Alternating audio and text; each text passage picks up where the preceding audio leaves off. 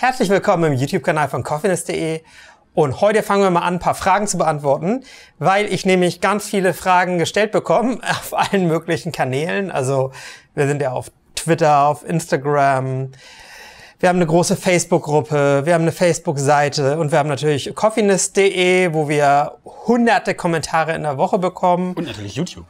Und YouTube, und YouTube gibt es natürlich auch mega, mega, mega viele Kommentare und wir kommen auch nicht mehr bei allem immer hinterher zu antworten. Darauf kommen dann auch ganz viele E-Mails. Mhm. Deswegen werden wir einfach mal versuchen, uns so ein paar Fragen vorzunehmen, die öfter kommen und dann kann ich nämlich einfach immer den Link von dem Video schicken und muss nicht nochmal was schreiben, weil das dann doch einfach sehr, sehr viel Zeit verbraucht. Und heute geht es darum, wie lagere ich Kaffee eigentlich am besten?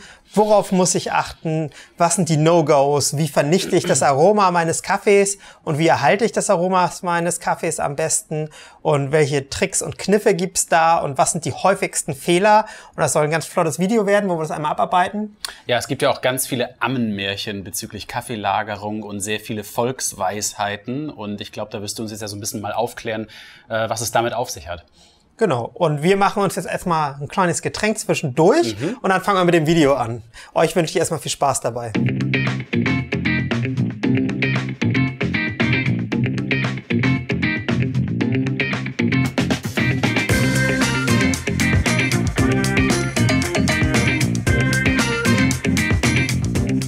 Da sind wir wieder, jetzt mit dem Getränk in der Hand. Das muss natürlich sein, das ist wichtig. Espresso, Mauricio hat sich ein Cappuccino gemacht. Ein bisschen für die Gemütlichkeit, ne? Das muss ja auch sein. Ja. Und ähm, soll jetzt gar nicht so sehr, also in diesen Vollautomaten gerade sowieso nicht gehen, sondern einfach ganz generell darum, wo man beim Kaffee aufpassen muss mit der Lagerung. Und das erste ist natürlich so, dass Kaffee ein frisches Produkt ist und es ist immer wichtig, dass die Röstung noch nicht zu lange zurückliegt. Und jeder Kaffee hat ja immer ein Mindesthaltbarkeitsdatum, aber das Mindesthaltbarkeitsdatum ist immer so eine Angabe, die bei Kaffee vielleicht gar nicht so wichtig ist, weil Hersteller da auch unterschiedliche Sachen draufschreiben. Ich kenne einige Kaffeeröster, die machen, die schreiben da glaube ich sechs Monate rauf. Dann gibt's viele, die machen zwölf Monate. Dann gibt's einige, die glaube ich noch längere Zeiträume machen. Und das ist so ein, das Mindesthaltbarkeitsdatum muss halt draufstehen. Das schreibt der Gesetzgeber vor. Ja. Man kann jetzt darüber streiten, ob das überhaupt eine hilfreiche Angabe ist, weil es ja einerseits so ist, dass wenn diese Zeit von, sagen wir mal, einem Jahr abgelaufen ist, der Kaffee jetzt nicht verdorben ist, aber er schmeckt halt trotzdem nicht mehr. Und das ist halt die Frage, was man dort macht. Deswegen ist es immer super, wenn das Röstdatum draufsteht. Das heißt, wenn du als Kunde genau weißt, okay, an dem und dem Datum wurde der Kaffee geröstet und dann kann ich mir immer genau ausrechnen, wie lange liegt die Röstung schon zurück. Und dann würde ich immer so empfehlen, den innerhalb von drei Monaten, nachdem er geröstet wurde, auch zu verbrauchen und nicht länger liegen zu lassen. Und das ist dann auf jeden Fall flotter, als jedes MHD abläuft für Kaffee eigentlich. Ja. Das heißt, vergesst das MHD, das draufsteht. Wenn das Röstdatum draufsteht, ist super. Wenn das Röstdatum nicht draufsteht, dann ist es schon mal jetzt kein so gutes Zeichen. Dann kann man aber auch mal nachfragen und dann meistens herausfinden, auch bei großen Röstereien gibt es meistens irgendwo die Information, wie lange die MHD geben. Du könnt ihr selber das zurückrechnen auf das Röstdatum. Und meine Empfehlung ist halt so drei Monate, nachdem er geröstet wurde, kann man den auch ganz gut trinken, ohne dass er zu viel Aroma verloren hat. Wenn der erstmal richtig bereit ist zum Trinken, also Kaffee muss ja nach der Röstung auch noch mal ein paar Tage liegen, je nachdem wie dunkel er geröstet wurde. Je dunkler, desto länger. Ich finde ja unseren Kaffee hier so 10 bis 14 Tage nach der Röstung am besten. Ja. Und ab dem Zeitpunkt kann man dann eigentlich rechnen. Bei Filterkaffee, bei ganz, ganz hellem Filterkaffee zum Beispiel ist es so, den kannst du eigentlich ein, zwei Tage, nachdem er geröstet wurde, schon gut trinken. Und dann kannst du ab da rechnen. Und ja, diese drei Monate sind, es wird halt ab diesen 14 Tagen wird er nicht besser. Das ist einfach so. Er verliert immer weiter an Aroma. Aber für mich reicht es drei Monate auf jeden Fall aus vom Geschmack. Das sieht auch jeder ein bisschen anders. Einige sind da sehr kritisch und sagen nur sechs Wochen. Andere sagen so, oh ja, halbes Jahr geht schon irgendwie. Ja, das generell ist, ist es natürlich auch so, äh, gerade wenn ihr jetzt Vollautomatenbesitzer seid und den Automaten einigermaßen regelmäßig benutzt, wisst ihr ja auch, dass man selbst ein Kilo ähm, dann doch sehr schnell durch die Maschine zieht. Äh, das, das, äh, das geht dann doch schneller, als man denkt. Insofern ist drei Monate ja auch auf jeden Fall ein Zeitraum, glaube ich, wo man ein Kilo das auf jeden Fall aber auch nicht wieder so viel Kaffee wie wir. Das darf man immer nicht vergessen. Das stimmt. Aber man muss ja noch nicht mal viel Kaffee trinken. Es reicht wahrscheinlich nur, wenn du ein Latte Macchiato pro Tag trinkst, dann ist es auch, äh, ist wahrscheinlich schon auch, kommst du wahrscheinlich mit dem Kilo auch jetzt schon ganz muss, gut. Muss man mal ausrechnen. Musste man mal ausrechnen. Aber es ist ja so, dass äh, schon immer ganz gut auch Kaffee verbraucht Ja, die, die haben auf jeden Fall ganz guten Verbrauch. das war jetzt erstmal das zum MHD und wie lange man den trinken sollte. Was ich dann wirklich oft gefragt werde, ist, ob man den Kaffee im Kühlschrank lagern kann. Oh ja, das ist eine heiße Diskussion. Und es gibt tatsächlich liest man auch immer wieder, ne? Ja, es gibt also so viele Magazine und Haushaltstipps-Magazine, wo das auch noch immer irgendwie empfohlen wird. Und ich glaube, früher war das so, dass es wirklich auch sehr viel empfohlen wurde. Mittlerweile wird das immer weniger. Und ich kann es euch ganz klar sagen, packt den Kaffee niemals in den Kühlschrank. Müsst ihr euch das vorstellen, was ist gefährlich für Kaffee? Um, damit er seinen Geschmack und Aroma verliert, sind verschiedene Sachen gefährlich.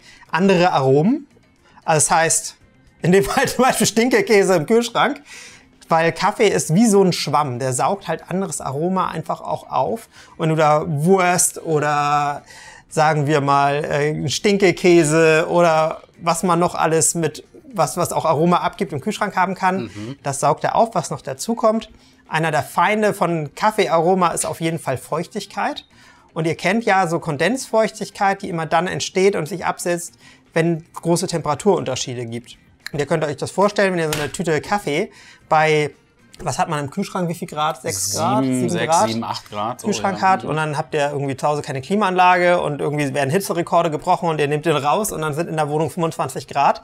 Dann wird sich Feuchtigkeit niederschlagen und das ist auf jeden Fall auch ganz schlecht für das Aroma. Also Kühlschrank ist aus verschiedenen Gründen nicht gut. Einmal wegen der Feuchtigkeit, die entsteht, wenn man es rein und raus nimmt und wegen anderen Aromen. Ähm, beides wirklich ganz schlecht. Mit den Aromen ist es halt auch so, ihr sollt den Kaffee halt wahrscheinlich nicht jetzt im gleichen Regal lagern wie eure Gewürzregal. Das ist dann, wenn er neben dem Knoblauchpfeffer steht, ist das auch nicht so gut. Das heißt, habt ihr am besten dafür nochmal einen extra Platz. Was auch wichtig ist, stellt so eine Tüte nicht irgendwie in die Sonne. Dass die am Fenster steht, wo Sonne raufstrahlt, dann habt ihr natürlich genau das Gleiche. Sollte eine möglichst konstante Temperatur sein, aus den genannten Gründen. Und dann gibt's ja viele Leute, die auch äh, überlegen, ob sie den Kaffee in so eine äh, Dose, du hast das eine Dose, die kannst du mal hochhalten, ja, hier so Dose, Dose. Dose packen. Das kann man machen. Ich persönlich bin gar nicht so großer Fan davon. Ich würde den lieber immer in der Originaltüte lassen, weil in so einer Dose, die muss ja auch irgendwie sauber sein und da, wenn du das umkippst, dann kommt wieder schon ganz viel Sauerstoff ran. Und ich bin jetzt gar kein so großer Kaffeedosen-Fan. Wenn ich die benutzt habe, habe ich tatsächlich eine Kaffeedose gehabt, wo ich dann die ganze Tüte reinmachen konnte. Ähm, das geht jetzt bei so großen Tüten sowieso dann nur, wenn du eine sehr große Dose hast. Doppelt hält besser, kann man da natürlich machen, wenn man die gut verschlossen hat und das doch noch extra Dose macht. Aber ähm, eigentlich ist so eine Kaffeedose, wie ich finde, ein bisschen überflüssig. Besonders schlimm ist es dann, wenn die aus, kannst du wieder zurückstellen, wenn die aus Glas ist und die Sonne da wieder direkt rein kann und ihr die dann wieder auf den Schrank stellt und die Sonne raufstrahlt dann äh, verpufft das Aroma auch schnell. Deswegen bin ich auch mal so ein bisschen kritisch. In einigen Kaffeeröstereien gibt's da so eine Rutschen, wo man auch den Kaffee so sehen kann. Und da ist es, glaube ich, okay, wenn der Kaffee da ganz, ganz kurz drin ist. Aber sobald der da länger drin ist, ist das auch echt. Das gleiche gilt äh, im Übrigen auch für Olivenöl. Ne? Also Olivenöl in Glasflaschen ist eigentlich gar nicht ideal, sondern man sollte es schon sehen, dass man Olivenöl auch äh, quasi in den ähm, das ist Alu-Boxen äh, oder sowas lagert, wo eben gar keine Sonne rankommt, weil jede, jede Sonneneinstrahlung auf ein Naturprodukt, nachdem es halt geerntet oder verarbeitet wurde, ist eigentlich immer, äh, hat eigentlich immer zur Folge, dass es leidet und sein Aroma verliert. Ich sehe schon die Anti Anti-Aluminium-Kommentare unter diesem Video. Ja. Es gibt ja Leute, die Aluminium nicht so gerne mögen. Ich weiß nicht, ob, diese, diese, diese, ob das Aluminium ist oder Es könnte auch ein Verbundstoff sein mit Kunststoff drin ja. oder so, keine Ahnung. Ich habe noch mal eine Rückfrage zum Kühlschrank. Ja. Ähm, wie sieht es denn aus ähm, im Gefrierfach? Weil es kann ja sein, dass man jetzt mal irgendwie einen Monat in Urlaub fährt und ähm, kann ich es nicht einfach ins Gefrierfach packen. Das ist eine große Diskussion, auch unter Leuten, die sich ganz gut auskennen. Es ist so, dass die Prozesse im Kaffee, die das Aroma sozusagen vergehen lassen, gestoppt werden dadurch, wenn man es einfriert oder zumindest stark verlangsamt werden. Von daher ist es theoretisch schon möglich, auch eine Kaffeemenge einzufrieren. Man hat natürlich aber mehrere Probleme. Man hat einmal das Problem der Aromen wieder. Wenn ihr das neben, keine Ahnung, eure Scholle und äh, keine Ahnung, den Weihnachtsbraten, was noch über war, dann den Kaffee daneben legt, habt ihr natürlich auch Aroma, das da irgendwie dann aufgesaugt werden kann. Äh, was halt theoretisch auch gehen würde, wäre so Portionsgrößen einzufrieren, den mhm. aufzutauen, wenn man das macht. Ich persönlich würde das nicht empfehlen. Man muss halt das ist theoretisch möglich, dass man das Aroma länger erhält, aber es ist super aufwendig. Und ich glaube, so für einen täglich Gebrauch macht das auch echt keinen Spaß, den dann irgendwie da rausholen zu müssen. Und ähm, das ist so, dass es theoretisch durchaus Sinn ergeben kann. Ich finde das in der Praxis aber irgendwie eine bescheuerte Lösung, seinen Kaffee einzufrieren. Von daher äh, würde ich das nicht machen, ist aber eine gute Frage. Darüber wird auf jeden Fall in der Kaffee-Community auch immer viel diskutiert weil es da doch viele Leute gibt, die sagen, man kann das sehr gut machen und auch viele interessante Experimente machen. Ist ja auch so ein bisschen intuitiv, ne? Ich tupper, ich tupper das einfach ja. ein, pack's ins Gefrierfach und lass es dann drei Monate drin so. Aber ja, aber da ist halt auch immer so, wer mal versucht hat, so eine Tupperdose komplett sauber zu machen, ohne dass man dann noch irgendwas riecht von dem, was ja. vorher drin war, der weiß auch, das ist gar nicht so einfach. Und das ist schon ähm, auf jeden Fall jetzt keine so ganz einfache Sache. Aber die Frage ist ja, wie packe ich dann den Kaffee überhaupt weg? Ich soll ihn nicht in den Kühlschrank packen, ich soll ihn nicht einfrieren, ich soll ihn nicht auf die Fensterbank stellen, ich soll ihn nicht in irgendein Glas lagern. Und die Antwort ist meiner Meinung nach super einfach. Ich würde Kaffee immer in der Originaltüte lassen und die dann einfach gut zumachen. Und ihr habt ja so eine Tüte, die ist dann offen, wenn man die aufgeschnitten hat. Ich würde immer aufpassen, wenn ich die aufmache, dass ich oben die sauber abschneide und nicht irgendwie so komplett quer aufreiße. Und wenn ich die dann zumache, dann mache ich das immer so, dass ich die einfach gut wickel, damit so wenig Sauerstoff wie möglich noch rankommt. Dann kann man das so ein bisschen so zuknibbeln. Und dann braucht man irgendwie so eine Klammer oder wenn man keine Klammer hat, braucht man Wäscheklammern, hat ja jeder zu Hause. Dann nimmt man zwei Wäscheklammern, das geht genauso gut. Ich habe aus Verzweiflung, als ich keine Wäscheklammern gefunden habe, auch schon mal Klebeband genommen und es einfach zugeklebt. Und dann macht man einfach seine Klammer Wir haben drüber. sogar auch schon mal Masken genommen.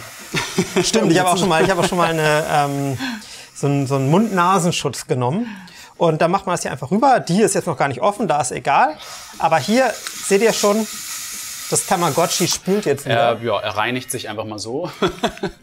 Na, das ist äh, unsere, das haben wir ja jedes Mal hier, dass sich irgendwelche Automaten von alleine reinigen. Und dann habt ihr das zugemacht und dann ist das gut. Und dann stellt ihr jetzt diese Tüte irgendwo hin, wo es keine zu großen Temperaturschwankungen sind und wo es nicht in der Sonne steht. Und was ich halt auch oft gefragt werde, ob man das Bohnenfach hier ganz voll machen würde. Ich persönlich würde eher relativ wenig Kaffee immer im Bohnenfach haben und mehr in der Tüte lassen und dann öfter nachkippen. Das äh, halte ich dann doch für die bessere Lösung, weil der Kaffee einfach noch besser geschützt ist, wenn ihr den in der Tüte lasst. Und das ist jetzt eigentlich auch schon das ganze Geheimnis davon, wie man Kaffee lagern soll. Der häufigste Fehler ist einfach, dass es in den Kühlschrank gepackt wird. Ich glaube, so viele frieren den jetzt nicht ein. immer schnell verbrauchen ist wahrscheinlich der beste Tipp, den man geben kann. Immer schnell verbrauchen, viel Kaffee trinken. Das ist immer gut für die Kaffeefrische. Nicht so viel hier ins Bohnenfach reinpacken. Immer daran denken, alles, wo der Kaffee mit anderen Aromen in Kontakt kommt, ist schlecht. Wo der Kaffee mit Feuchtigkeit in Kontakt kommt, ist schlecht. Wo der Kaffee Sonneneinstrahlung und Hitze ausgesetzt wird, ist schlecht. Und ansonsten könnt ihr den wunderbar so einfach ein paar Wochen in der Tüte lassen, wenn die gut zugemacht ist. Und Tja, soll ja auch ja. ein paar Nerds geben, die sich Vakuumiergeräte kaufen und den Kaffee einvakuumieren, portionsgerecht. Man kann natürlich alles so auf die Spitze treiben. Ich bin ja immer sehr für praxisnahe Tipps, die irgendwie, ähm, weil, weil die Nerds, die sich sowas überlegen mit dem Vakuumiergerät, die denken sowieso genug selber darüber nach. Die brauchen jetzt keine Tipps. Aber so für normale Menschen ist das, glaube ich, so, wie ich das ja auch selber mache, ähm, schon eine ganz gute Lösung. Und Ihr könnt auch noch mal auf coffeenist.de nachlesen. Da haben wir schon relativ viele Artikel zum Thema Kaffee und Lagerung geschrieben. Ich glaube, den ältesten habe ich vor zehn Jahren oder zwölf Jahren mal geschrieben. Äh, mittlerweile wurde der aber auch schon aktualisiert und den Link dazu packe ich euch hier drunter natürlich nochmal. Und wir werden halt diese Fragen, die immer kommen, jetzt noch mehr Videos zu diesen Fragen machen und Fragen beantworten natürlich. Also haut auf jeden Fall eure Fragen auch gerne in die Kommentarsektion genau. bei YouTube oder wo auch immer. Ja. Das hilft uns immer weiter bei solchen Videos. Genau, also ich mache Video, damit wir weniger Fragen kriegen, aber wenn wir jetzt noch mehr Fragen kriegen, ist das natürlich auch immer, gut. Wir, wir, lesen die auch und dann können wir mal wieder gucken, was sehr häufig auftaucht und ein Video dazu machen. Ich hoffe, das war hilfreich. Ich freue mich natürlich immer, wenn ihr Kommentare schreibt, liked und den Kanal abonniert und wir sehen uns im nächsten Video wieder. Bis zum nächsten Video. Ciao.